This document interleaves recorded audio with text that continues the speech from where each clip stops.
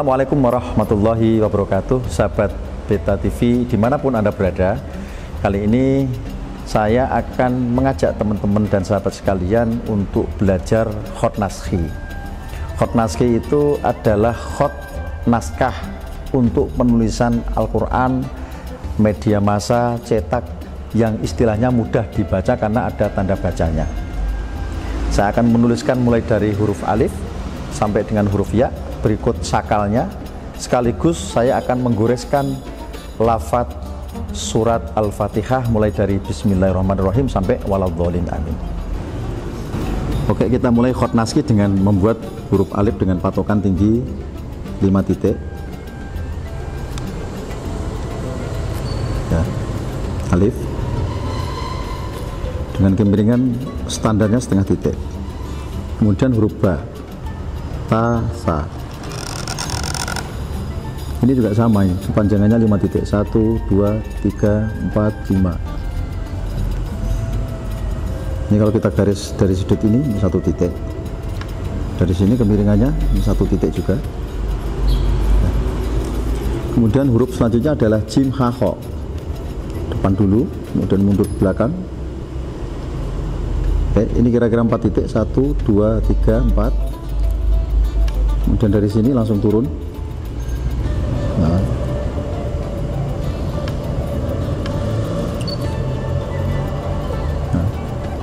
seperti ini kira-kira. Di sini satu titik. Nah, di sini 5 titik. 1 2 3 4 5 kalau kita tarik garis bawah ini ke sininya satu setengah titik. Oke, selanjutnya huruf dal.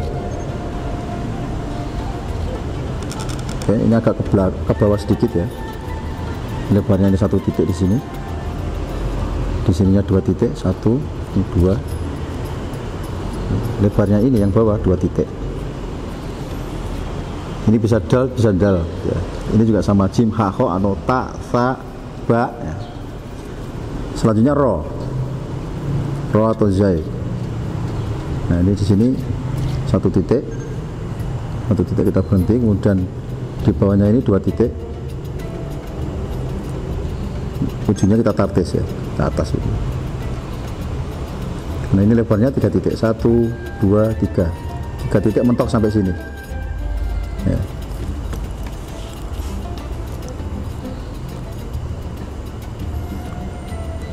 kemudian versi rok yang lain.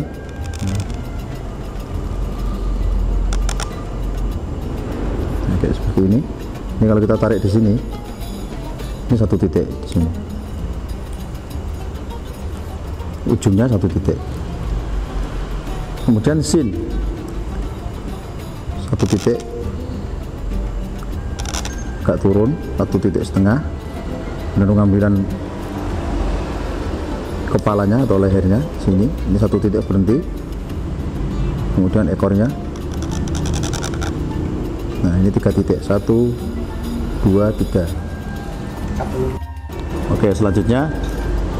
Nah shot ya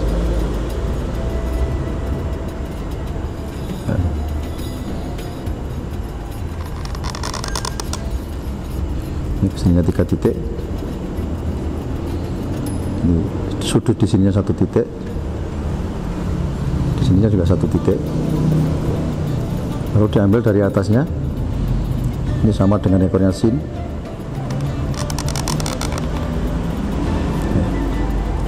Satu dua tiga. Shot atau sin ini tadi ekornya bisa dipanjangkan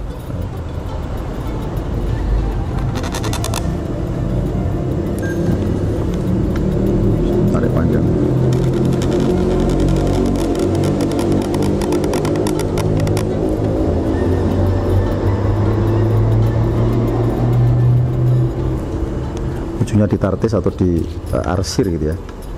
Ini ke sininya dua titik. Sama ini ukurannya tadi satu dua tiga. Nah ini panjangnya bisa uh, 12 9 sampai 12 ya maksud saya.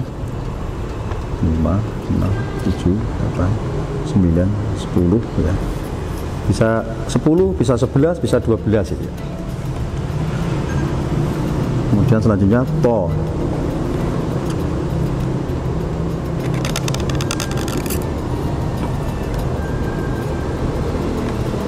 Ujungnya ini tartis.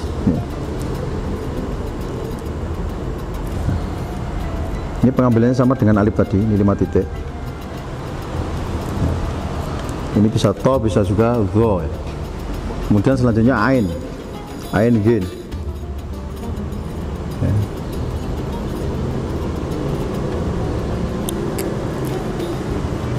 ekornya bisa ditartis sama dengan ketika membuat jim tadi atau jim hakho kepalanya ini ditartis atau digambar.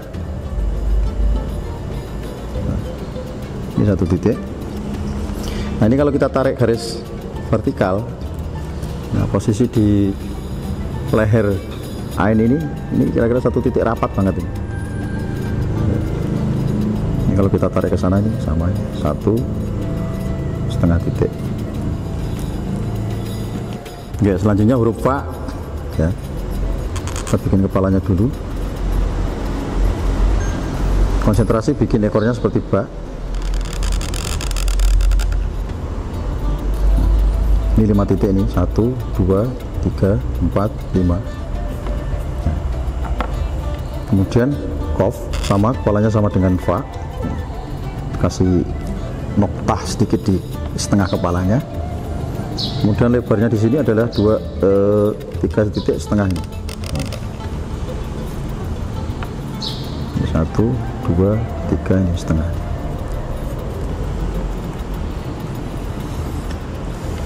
Oke, ini tadi bisa ain dan gin, ini fa, ini kof ya. Nah, misalnya saya bikin kof yang dipanjangkan.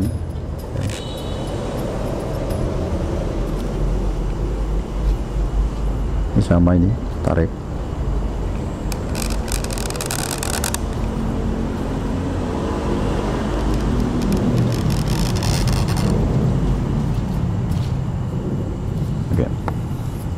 ini tadi bisa 9 sampai 12 ya. Nah kita bikin kaf di sini. Kaf yang dipanjangkan.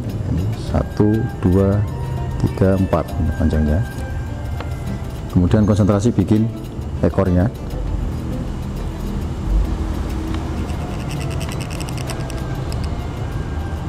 Nah di sini ke sininya ini ke bawahnya ini dua titik. Dari sini satu dua tiga empat lima enam. Oke, kemudian kita tarik dari sini. Usahakan paralel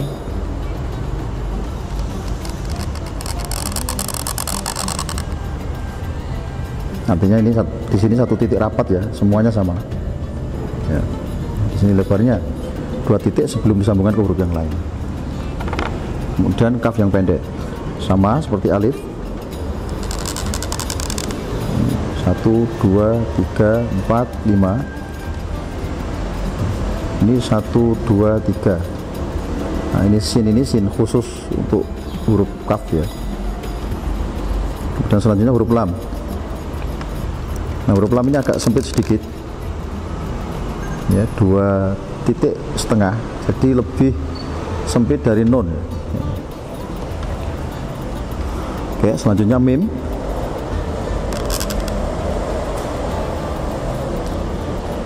Ini ke sininya lebarnya ini dua titik. Satu dua tiga empat. Bawahnya ini empat titik saja. Kepalanya kalau dihitung dari sini satu titik. Oke kemudian mem yang kedua bentuknya agak diangkat tipis. Itu kemudian kasih ujung. Nah, ujungnya panjangnya dua titik.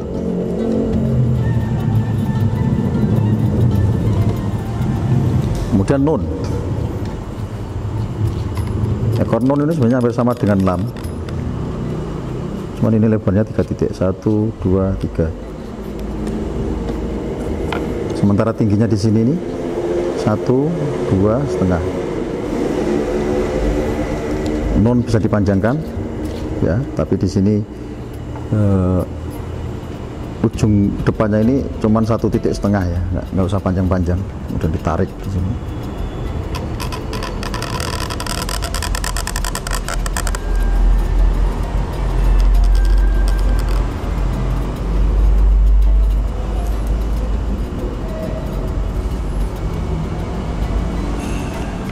sini. Ini sama juga lengkungannya adalah dua titik dari garis eh, tengah. Sudut garis tengah ini penting sekali untuk mengatur keseimbangan huruf. Kemudian selanjutnya huruf wawu ya. Kepala wawu sama seperti kepala fa atau kof nah, dikasih nuktoh setengah di sini. Jadi di sini turun. Kira-kira dua titik di sini berhenti. Kemudian dikasih tartis atau diarsir aja gitu gambar gitu seperti ini kira-kira naiknya. Panjangnya jangan sampai lebih dari dua titik untuk versi tunggal seperti ini. Kemudian versi yang lain ketika disambung dengan huruf lain misalnya disambung dengan huruf H. Nah ini penuh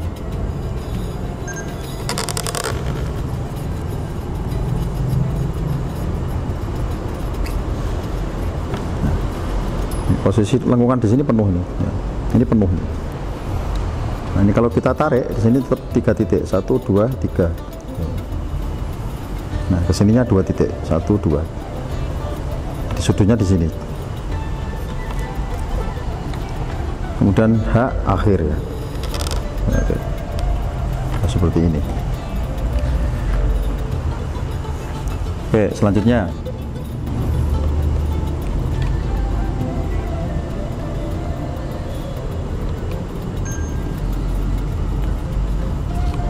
bawahnya agak tipis ini diangkat bisa. Diangkat.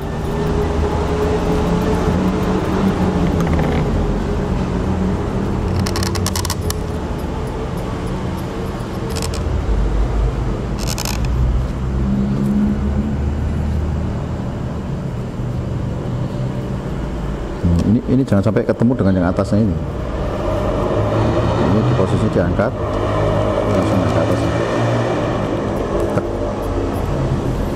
Nah, kira-kira konsentrasi dari sini satu titik. Nah, jadi haknya di sini jatuhnya. Agak tebal sedikit ke atas. Nah, kira-kira seperti itu. Ini minimal tiga titik.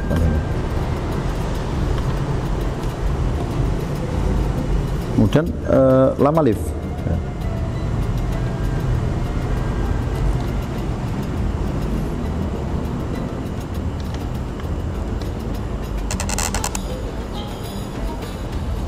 Kayak lama lip ini tiga titik ini. Ngangkangnya ini ya lebarnya atas ini tiga titik.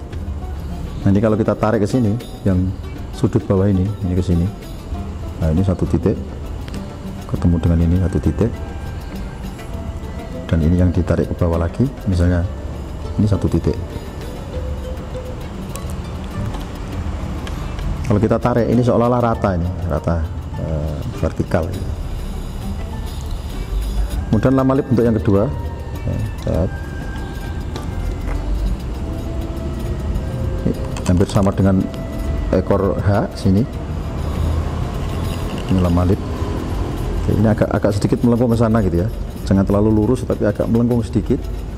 Karena ini lebarnya ini empat titik ini. Satu dua tiga empat. Silakan ke sini. Ya nah ini lehernya tipis ini diangkat ini di sini lebarnya ini dua titik satu dua. Ini di sini satu titik. Nah ini di sini dari sini ke sini dua titik. Sudut bawah ini satu titik. Oke. Kemudian ya akhir yang dipanjangkan. Ini agak rata begitu turun. Nah kira-kira begitu. Ini panjangnya ini tiga titik ini jangan lebih. Kemudian sedikit melengkung sedikit melengkung bawah samping serong kemudian naik. Naik ke atas. Nah ini naik ke atas sedikit. Eh, agak ada ada semacam goyangan di belakang seperti itu. Nah, ini dua titik ke sini. Ini satu titik di sini ini kalau kita tarik garis vertik eh, horizontal di sini ada setengah titik naiknya Oke, setelah jadi seperti ini kita bisa mencoba main harokat ya. Main harokat itu bisa fathah, bisa kasroh, bisa dumah itu. Misalnya saya kasih contoh seperti ini. Fathah, ya, ya. Fathah di bawah, fathah di atas. Ini hanya variasi saja ya, variasi.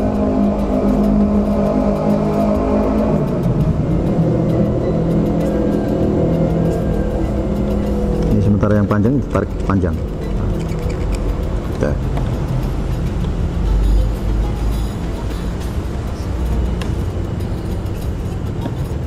Nah.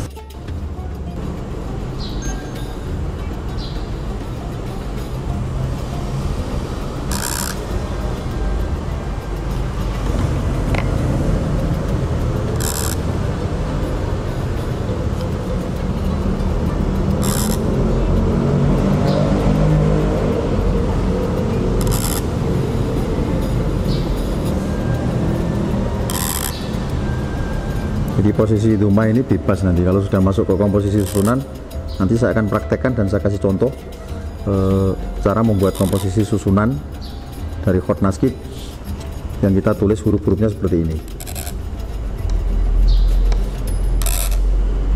Agak cepat sedikit pun nggak masalah ya.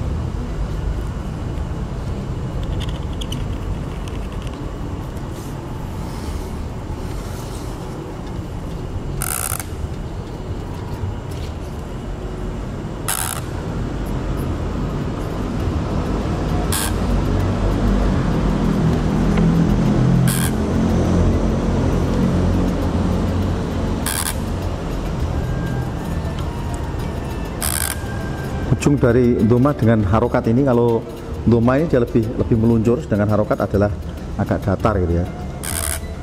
Ujungnya lebih meluncur seperti ini ini meluncur kalau harokat agak datar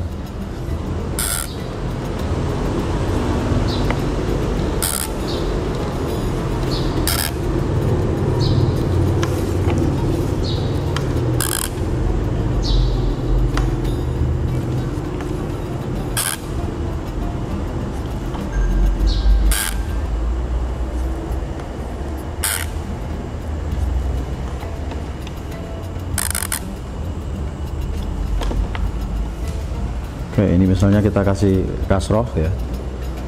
Ya, kasroh.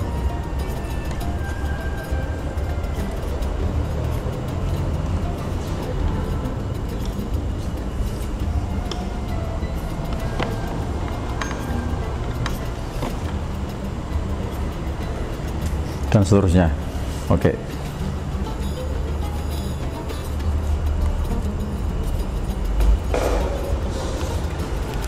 Ini hanya variasi aja. Ini nanti menyesuaikan ini. Nanti kalau sudah masuk ke contoh eh, susunan atau kalimat itu nanti menyesuaikan.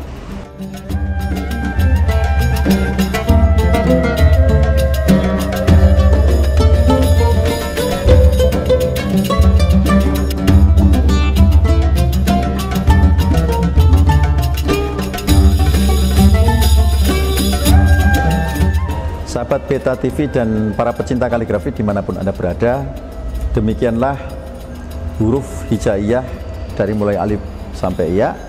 Berikut sakalnya sudah saya kuriskan. Terima kasih mudah-mudahan bermanfaat. Bila taufik walidayah. Wassalamualaikum warahmatullahi wabarakatuh